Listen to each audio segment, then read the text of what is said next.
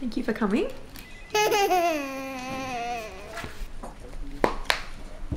So you've been with us for just over a year now, and we thought it was time for a performance review. So, as I can see, you've done a lot of really great things in your time here. Um, a little bit concerned about your treatment of Dolly. I don't love the way that you grab her by her ankles and swing her at the wall. But other than that, I think you're ready for a promotion. right, so I'm just going to grab your new uniform.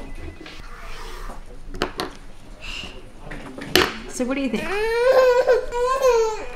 What if we were to throw in an extra punnet of blueberries per week? Yeah, that, that. Perfect. Congratulations.